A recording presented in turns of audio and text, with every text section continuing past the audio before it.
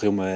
PT foi e é um registro nacional de doentes com doença reumática e a perspectiva que eu procurei partilhar no Congresso Português de Reumatologia foi a importância que este registro teve e certamente terá muito mais no futuro para a tomada de decisão em saúde e para a definição de recomendações de saúde pública, com o exemplo concreto da vacinação contra a Covid-19, que é certamente um pilar fundamental na resposta à emergência de saúde pública ainda em curso. Este uh, registro permitiu uh, trazer-nos dados do contexto nacional e tomar decisões baseadas em dados e evidência e também naquilo que é o contexto nacional, os nossos doentes, sempre colocando o doente como centro do sistema.